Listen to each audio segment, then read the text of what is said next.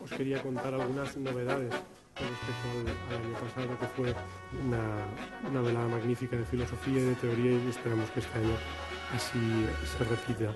En primer lugar, eh, tenemos eh, más ámbitos de reflexión que el año pasado. El año pasado nos nos ceñimos a la política y a la sociología y este año, como veréis si consultáis el programa, tenemos también alguna conferencia dedicada a ciencia y política. También hemos pensado que era muy importante que nuestros artistas, los artistas que están en voces ah, como Pistoleto ah, y que están en la sección de arte como Pistoleto y Beatriz Preciado, pues nos diesen alguna, alguna charla y así ampliar pues el abanico de nuestros intereses. Ah, empezamos, como sabéis, bajo la idea o el paraguas que junta todo el festival, que es la idea de sostenibilidad a la que no ceñimos o que no nos gusta solamente definir en un sentido medioambiental, como es habitual hoy en los medios de comunicación, ah, sino en el sentido de qué vendrá, qué vendrá ah, a nivel de filosofía, qué conceptos con los cuales vivimos actualmente serán sostenibles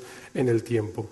Ah, esta es nuestra idea de sostenibilidad y así la venimos ah, trabajando en la primera edición y en esta edición. Si os interesaron las conferencias de la primera edición, pues tenéis a vuestra disposición el libro Sostenibilidades con un resumen de las charlas ah, de Lipovetsky, de Zizek, de Simon Critchley y sus posteriores debates que fueron muy interesantes y esperamos que este año lo sean más. Empezamos quizá con uno de los platos fuertes. Cuando hablamos de definir el mundo, de saber cuáles serán las ideas que tenemos ahora y que probablemente perdurarán en el futuro, pues nos interesaba obviamente el tema de la filosofía política y de la política, cómo va a ser nuestro mundo en lo que toca a, la política y a las sociedades del futuro y sus conceptos, los conceptos que van a hacer aflorar.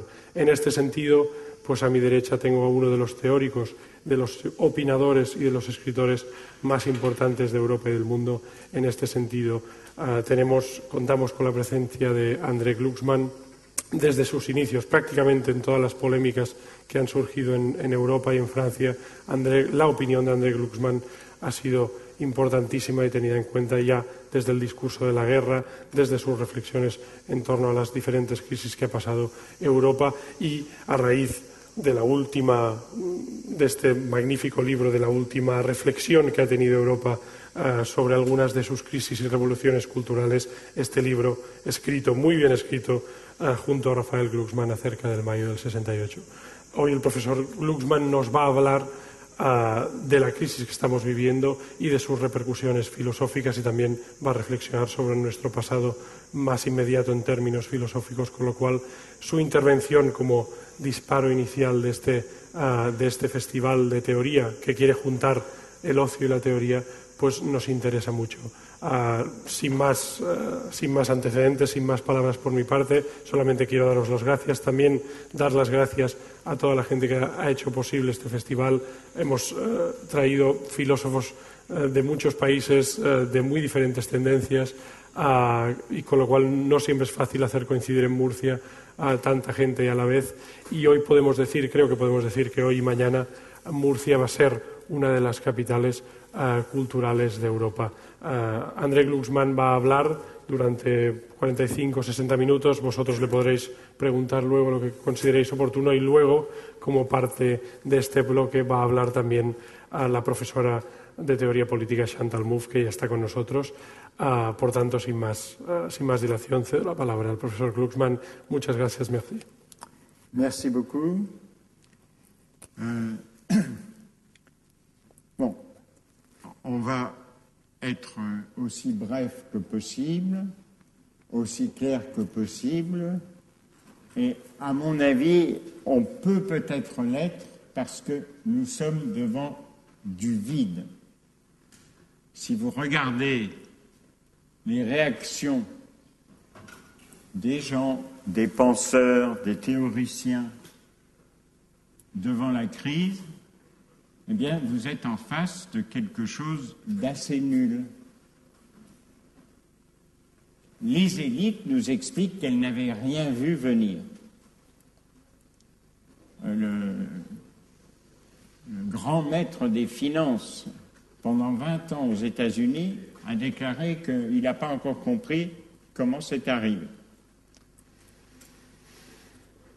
Et de fait, euh, on constate que, bien sûr, il y a eu toujours des gens qui ont dit le malheur va arriver, mais ça, il y a toujours des gens qui disent que le malheur va arriver. Si vous voulez un exemple, en 87, il y avait une crise. On ne savait pas si elle allait être grande ou petite. C'était une crise à la bourse.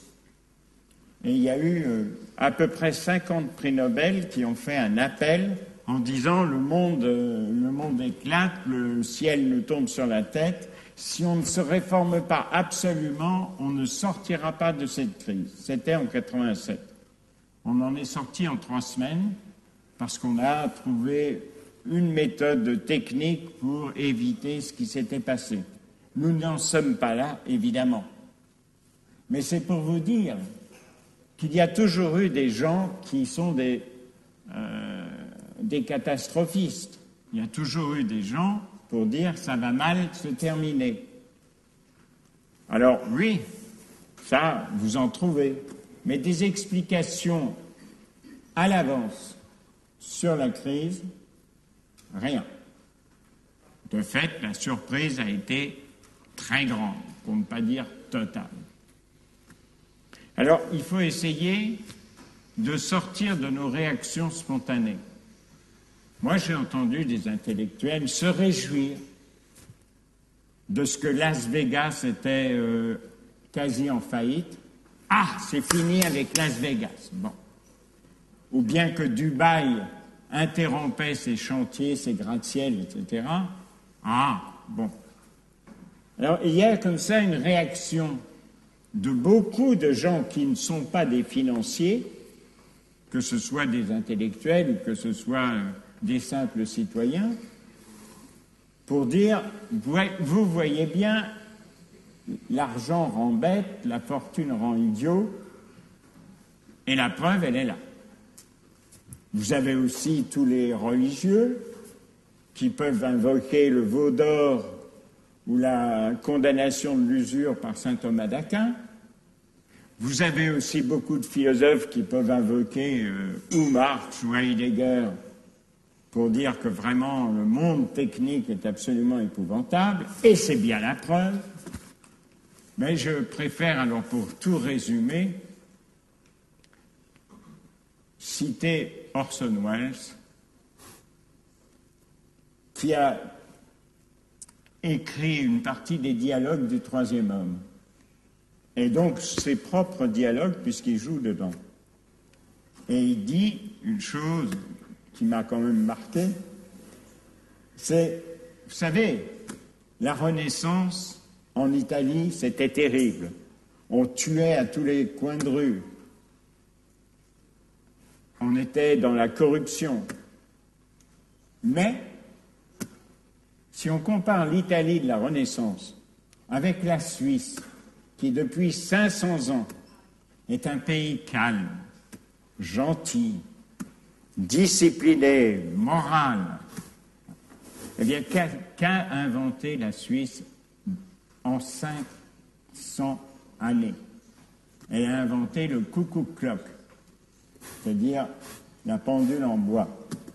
depuis, il y a des pendules un peu perfectionnées, mais je ne cache pas qu'il y a un certain nombre de gens qui ont été finalement assez réjouis en pensant à Orson Welles quand ils ont constaté que la plus grande banque UBS de Suisse était en train de faire faillite. Dit, pour une fois, ça apprend quelque chose aux Suisses. Bon. C'est un peu vrai. Ça apprend quelque chose aux riches quand ils perdent leur argent. Et la moitié de la grande richesse de l'univers est partie en fumée en trois mois. Alors, il y a de quoi réjouir, mais il y a aussi de quoi pleurer, parce que ça fait 500, non, 50 millions de chômeurs prévus, de gens qui sont